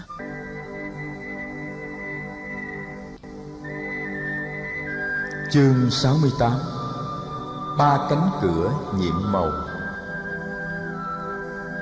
Rời miền biển, Phật trở về Hoa Thị, ghé Tỳ Xá Ly và đi lên hướng Tây Bắc, quê hương của người. Khi tới Samagama, thuộc nội địa Dương quốc Thích Ca, Phật nghe nói vị giáo chủ của giáo phái Nigantha là Nathaputra đã qua đời và giáo đoàn của du sĩ Nigantha đã bị chia rẽ trầm trọng làm hai cánh. Hai bên chống đối nhau rất kịch liệt về mặt giáo lý cũng như về mặt tổ chức, khiến cho giới đệ tử tại gia của họ rất đau khổ, không biết theo ai. Chú Sa Di Khunda, thị giả của Đại Đức Xá Lợi Phất đã tới gặp Đại Đức A Nan Đà và kể lại những chuyện trên. Vì trong khi an cứ ở Ba Ba, chú đã nghe hết mọi chi tiết. Thầy Ananda liền đem câu chuyện chia rẽ của giáo phái Nigantha bạch lên Phật. Thầy nói, giọng rầu rầu. Lạy Phật, con mong sau khi người diệt độ sẽ không có sự chia rẽ trong hàng ngũ giáo đoàn khất sĩ như thế. Con không ưa sự chia rẽ và tranh chấp một chút nào hết. Phật dỗ dai Ananda. Này Ananda, thầy có thấy các vị khất sĩ trong giáo đoàn ta tranh chấp và cãi vã nhau về nội dung các pháp môn như tứ niệm xứ, tứ chánh cần, ngũ căn, ngũ lực, thất bồ đề và bát chánh đạo không? Lại Phật, con chưa thấy có hai vị khất sĩ nào tranh chấp và cãi cọ về nội dung giáo lý. Nhưng con nghĩ khi Phật còn tại thế, nhờ đức của Phật ai cũng nương tựa vào Phật, nghe lời Phật và tu học yên ổn không có vấn đề gì. Nhưng một khi Phật trăm tuổi, họ có thể bắt đầu tranh chấp với nhau về giới luật và về cách thức sinh hoạt quằn quá. Nếu điều này xảy ra thì nhiều người sẽ buồn lắm và sẽ mất tin tưởng ở đạo Pháp. Phật an ủi Ananda. Đừng lo ngại Ananda. Chừng nào mà có sự tranh chấp và cãi cọ trong giáo đoàn về nội dung giáo lý, về các pháp môn tu tập như tứ niệm xứ, tứ chánh cần, ngũ căn, ngũ lực thất bồ đề bát chánh đạo thì lúc đó ta mới nên e ngại còn những tranh chấp về tổ chức về giới luật và về lề lối sinh hoạt tuy có thể xảy ra, nhưng cũng không đáng ngại đâu. Tuy được phật trấn an, đại đức a nan đà vẫn không tươi tỉnh lắm. Thầy mới nghe tin là tại tỳ xá ly, đại đức sunat khata ngày xưa từng làm thị giả cho phật, nay đã rời bỏ giáo đoàn khất sĩ vì những bất mãn riêng tư. Thầy ấy đã bắt đầu tổ chức những cuộc diễn giảng chống lại phật và giáo đoàn. Đi tới đâu sunat khata cũng nói sa môn cù đàm cũng chỉ là người thường thôi, không có gì đặc biệt hơn ai. Và giáo pháp của sa môn cù đàm chỉ đem tới sự giải thoát cá nhân, chẳng có ích lợi gì cho xã hội. Sunat khata đã bắt đầu gây hoang mang trong quần chúng. Điều này chính đại đức xá lợi phất cũng đã biết. Đại đức còn biết rằng, mầm chia rẽ đã manh nha trong giáo đoàn ở thủ đô dương xá một nhóm các vị khất sĩ tại dương xá trong đó có đại đức đề bà đạt đa đang âm thầm tổ chức một giáo đoàn khất sĩ độc lập với giáo đoàn của phật cộng tác với thầy đề bà đạt đa có nhiều thầy cũng thuộc hạng giỏi như các đại đức Kokalita, Katamoraka Tissa, Khanda Diviputra và Samudadatta. Thầy Đề Bà Đạt Đa vốn là một trong những người đệ tử lớn, thông minh và tài giỏi nhất của Phật. Chính sư huynh Xá Lợi Phất đã từng khen ngợi Đại Đức Đề Bà Đạt Đa ngay giữa các đám đông ở các buổi họp trong vùng Dương Xá. Đã có lúc Đại Đức Xá Lợi Phất tiếp xử với Đại Đức Đề Bà Đạt Đa như một người bạn tri kỷ. Vậy mà không biết vì lý do nào, Đề Bà Đạt Đa gần đây đã nảy ý ganh ghét ngay cả với Phật. Thầy A Nan Đà không biết là đã có ai trình lên Phật các vụ này chưa. Riêng thầy, thầy rất ngại phải nói để Phật nghe những chuyện đau buồn như thế.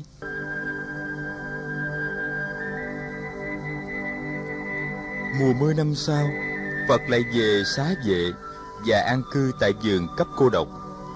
Đầu mùa an cư, người giảng kinh Pháp Ấn.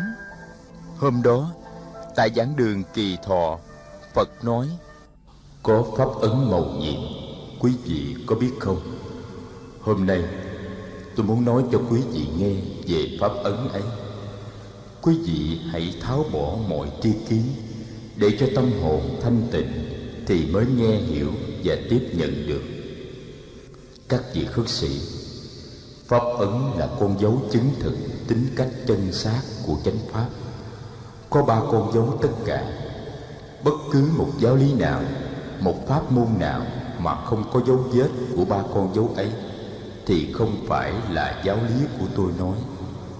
Ba con dấu ấy là không, vô tướng và vô nguyện. Ba con dấu ấy cũng là ba cánh cửa để đi vào thế giới của giải thoát. Vì vậy, pháp ấn cũng được gọi là ba cánh cửa giải thoát hay tam giải thoát môn các vị khất sĩ. Con dấu thứ nhất là không. Không ở đây có nghĩa là rỗng không không có tự ngã riêng biệt. Không ở đây không có nghĩa là không đối với có. Như các vị đã biết, chấp có và chấp không là hai kiến chấp sai lầm. Vậy không ở đây có nghĩa là không có một tự ngã riêng biệt, không có một sự tồn tại riêng biệt dạng pháp nương vào nhau mà có mặt. Không có pháp nào có thể phát sinh và tồn tại một cách độc lập. Các pháp sinh khởi và tồn tại trong liên hệ nhân duyên chặt chịch cái này có vì cái kia có. Cái này không vì cái kia không. Cái này sinh vì cái kia sinh. Cái này diệt vì cái kia diệt. Do đó bản chất của không là duyên khởi. Này các vị các vị phải tập nhìn dạng pháp trong liên hệ nhân duyên của chúng để thấy được rằng trong một pháp có mặt tất cả dạng pháp. Để thấy rằng trong cái một có cái tất cả và ngoài cái một, cái tất cả không thể nào tồn tại. Quán chiếu mười tám giới là sáu căn sáu trần và sáu thức. Quán chiếu năm uẩn là sắc, thọ tưởng hành và thức. Các vị sẽ thấy được rằng không có giới nào, cũng như không có uẩn nào có tự thể riêng biệt, rằng tất cả đều nương vào nhau mà đứng. Thấy được như thế thì thấy được tính không của dạng pháp. Thấy được tính không ấy rồi thì các vị không còn ước muốn theo đuổi hoặc trốn chạy bất cứ một pháp nào nữa. Và các vị sẽ đồng thời vượt thoát những tham đắm, phân biệt hoặc kỳ thị đối với tất cả các pháp. Quán chiếu về tính không, tức là mở ra một cánh cửa để đi vào thế giới của tự do. Vì vậy, không là cánh cửa giải thoát thứ nhất các vị khất sĩ. Con dấu thứ hai là vô tướng. Vô tướng tức là vượt thoát những khuôn khổ của tri giác và của nhận thức phân biệt. Vì không thấy được tự tính duyên khởi của các pháp, vì không chứng đắc được tính không của các pháp, cho nên người đời thường nhìn các pháp như những hiện tượng riêng biệt, độc lập. Cái này tồn tại ngoài cái kia cái này có mặt độc lập với tất cả các cái kia. Nhìn các pháp như thế cũng giống như là lấy thanh gương của nhận thức phân biệt để chặt thực tại ra từ mảnh nhỏ rời rạc. Và như thế là không thấy được tự thân của thực tại. Này các vị, dạng pháp tùy thuộc vào nhau. Cái này có trong cái kia, cái này lòng trong cái kia trong một cái có tất cả mọi cái. Đó là ý nghĩa hai tiếng tương nhập và tương tức. Tương nhập là đi vào trong nhau, tương tức là là nhau. Cái này đi vào trong cái kia cái kia đi vào trong cái này. Cái này là cái kia cái kia là cái này.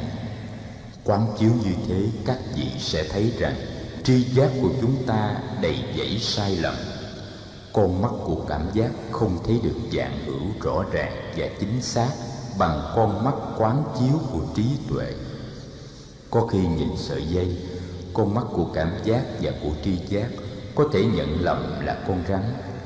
Nhưng với con mắt của quán chiếu, tự thân của sợi dây được hiển lộ rõ ràng và hình bóng con rắn sẽ tự nhiên tiêu diệt các vị khất sĩ, các tướng trạng như có, không, sinh, diệt, một, nhiều, còn, mất, tới, đi, dơ, sạch, thêm, bớt, đều là những tướng trạng mà tri giác và nhận thức phân biệt úp chụp vào thực tại. Đối với đệ nhất nghĩa đế, thì tự thân thực tại không bị giam nhốt trong những phạm trù phân biệt đó không bị khuôn khổ trong các tướng trạng đó của nhận thức phân biệt. Vì vậy cho nên, dạng pháp được gọi là vô tướng. Quán chiếu để làm tan rã những ý niệm có không, sinh diệt một nhiều, còn mất, tới đi, dơ sạch, thêm bớt, các vị sẽ đạt tới giải thoát. Vô tướng vì vậy là cánh cửa mầu nhiệm thứ hai mở ra để ta đi vào thế giới của tự do. Vô tướng là cánh cửa giải thoát thứ hai. Các vị khất sĩ, con dấu thứ ba là vô tác hay là vô nguyện? Vô nguyện là không đuổi theo bất cứ một cái gì. Tại sao thế? Thối thường người ta hay muốn trốn chạy khỏi một pháp để đuổi theo một pháp khác. Người đời ưa trốn chạy sự nghèo khổ để đuổi theo sự giàu sang. Người tu đạo ưa trốn chạy sinh tử để đuổi theo giải thoát.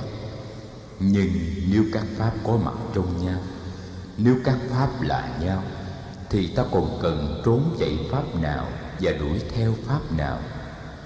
Trong sinh tử đã có niết bàn, trong niết bàn đã có sinh tử niết bàn và sinh tử không phải là hai thực thể riêng biệt. Vậy thì ruồng bỏ sinh tử để chạy theo niết bàn, tức là chưa chứng nhập được thể tính duyên sinh của dạng pháp. Chưa chứng nhập được tự tính không và vô tướng của dạng pháp. Quán chiếu vô nguyện là để chấm dứt ngay sự tìm cầu và theo đuổi. Giải thoát và giác ngộ không phải là những pháp có mặt ở ngoài ta chỉ cần mở mắt ra để chiêm nghiệm thì ta thấy được ta chính là bản thân của giải thoát và giác ngộ. Tất cả các pháp, tất cả chúng sinh đều có sẵn tự tính giác ngộ tròn đầy trong tự thân mình. Các vị đừng đi tìm tự tính ấy ở bên ngoài.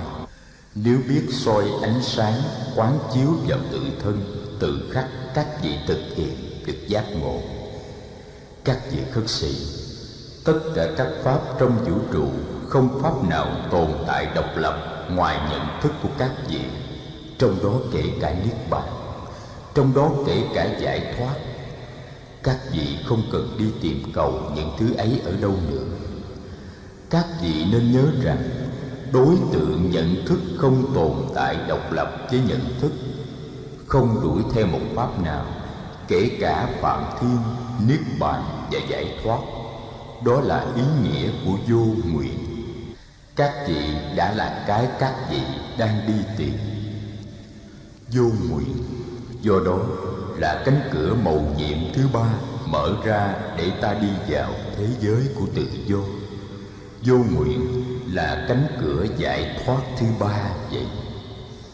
Các vị khất sĩ, đó là giáo lý pháp ấn đó là pháp môn ba cánh cửa giải thoát. Tam giải thoát môn là pháp môn rất di diệu, rất mầu nhiệm các vị nên hết lòng học hỏi và thực tập. Tu tập theo pháp này, chắc chắn quý vị sẽ đạt tới tri kiến thanh tịnh và thực hiện được giải thoát. Phật nói xong kinh pháp ấn, đại đức xá lợi phất đứng dậy đảnh lễ đại chúng thấy thế đều đứng dậy và lạy xuống để tạ ơn thế tôn. Đại đức xá lợi phất tuyên bố với đại chúng là ngày hôm sau sẽ có một buổi trùng tuyên và học hỏi về kinh này. Đại đức nói đây là một kinh thâm diệu vô cùng, phải đem hết sinh mạng và tâm trí ra mà học hỏi và thực tập mới mong có thể hiểu được. Đại đức các tường thấy kinh này có liên hệ tới kinh không? Mà phật đã dạy năm ngoái, phật đã hướng dẫn các đệ tử của người từ những giáo lý đơn giản đến những giáo lý càng ngày càng huyền nhiệm. Thầy thấy các vị trưởng thượng như ca diếp, xá lợi phất, phú lâu na, mục kiền liên, ai nấy đều tỏ vẻ sung sướng cực kỳ khi được nghe kinh này. Thầy nhớ năm ngoái, khi phật giảng xong kinh không, thầy xá lợi phất cũng đã lên lạy phật và tất cả các vị trưởng thượng trong giáo đoàn cũng đã lên bắt chước đại đức xá lợi phất tình thầy trò thật rất thấm thiết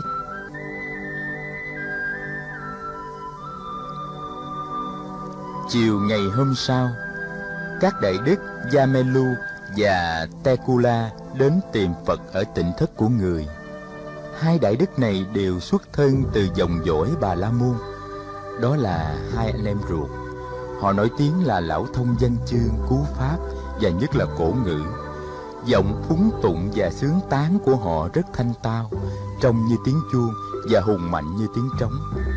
Gặp Phật, hai đại đức lạy xuống, Phật mời họ ngồi Đại Đức Gia nói Thế Tôn, chúng con muốn xin phép Thế Tôn để trình bày về vấn đề chuyển ngữ trong công cuộc hoằng Pháp. Bạch Thế Tôn, trong khi Thế Tôn thuyết Pháp, người thường dùng ngôn ngữ Magadhi. Ở Ma Kiệt Đà hay ở Câu Tát La cũng vậy. Nhưng trong giới khất sĩ có nhiều vị không sử dụng được tiếng Magadhi. Và ở những miền họ hành đạo, dân chúng cũng không biết tiếng Magadhi. Vì vậy pháp âm của người đã được chuyển dịch thành rất nhiều thứ tiếng của nhiều giống dân khác nhau. Thời chưa xuất gia, chúng con đã may mắn học được rất nhiều sinh ngữ, và chúng con nhận xét rằng ở nhiều nơi người ta đã làm sai lệch và méo mó pháp âm di diệu của người bằng cách diễn dịch pháp âm ấy thành nhiều thổ ngữ.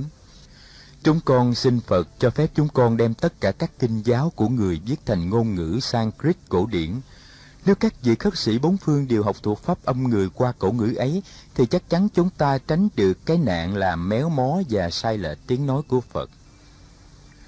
Phật im lặng một lát, rồi ngẩng lên nhìn hai vị đại đức. Các vị làm như vậy không tiện. Đạo Pháp là một thực thể linh động. Ngôn ngữ để chuyên chở giáo Pháp phải là những sinh ngữ đang được sử dụng Tôi không muốn giáo lý của chúng ta được trình bày bằng một cổ ngữ Trừ những người trí thức, Ít ai hiểu và cảm được giáo lý qua một cổ ngữ Các thầy Yamalu và taikula Tôi muốn nói rõ với quý vị là Các giới môn đệ của tôi Xuất gia cũng như tại gia Đều phải học hỏi và thực tập giáo pháp Bằng chính tiếng mẹ đẻ của mình. Như vậy giáo pháp mới linh động và dễ hiểu. Giáo pháp phải được thích ứng với đời sống hiện tại và phải được trình bày như thế nào để thích hợp và dễ hiểu với văn hóa địa phương. Hiểu được ý phật, hai đại đức yamalu và tekula đảnh lễ người và rút lui.